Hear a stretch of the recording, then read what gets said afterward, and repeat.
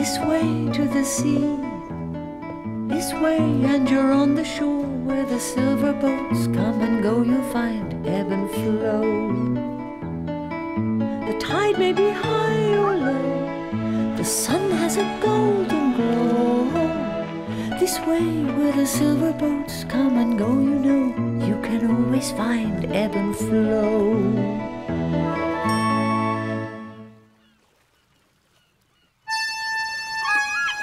Ebb knew when winter was on its way.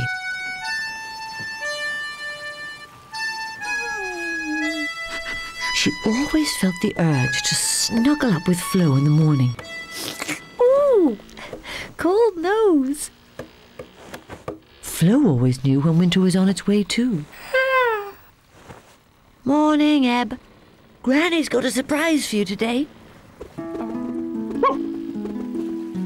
So that morning, Ma rode Flo and Ebb to Grandma's house. Ebb was very excited. She wondered what Granny's surprise could be. Perhaps a plate of her special biscuits. Ebb's favourites.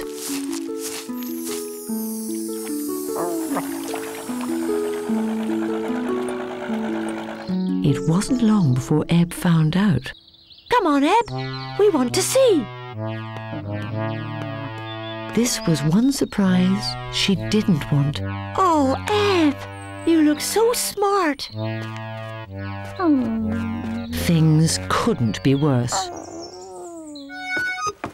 Later that day, Flo went to the store for Ma. She couldn't wait to show everyone Ebb's new winter coat. Come in, Ebb. Oh, look at you, Ebb. Don't you look jolly?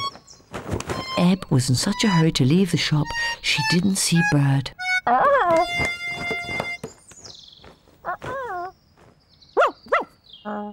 Ebb tried to call Bird back, but it was too late. Ebb's coat had scared Bird off. There you are. Want to go to the beach?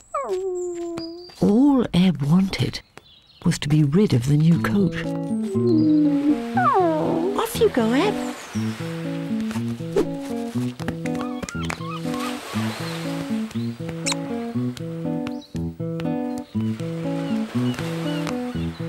The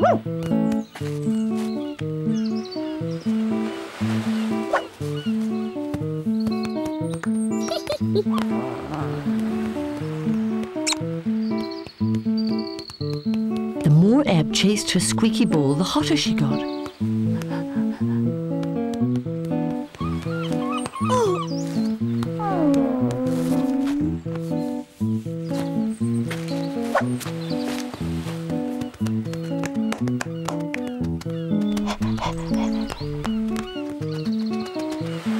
All this running about was too much for Ebb. She had to cool down.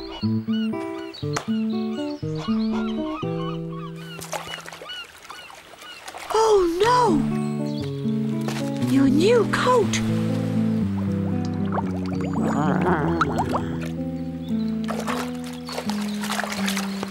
Oh, look!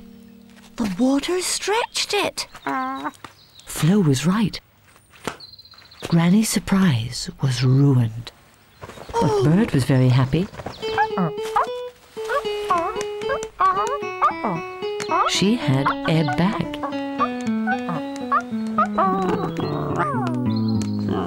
The next morning, winter's chill was back again.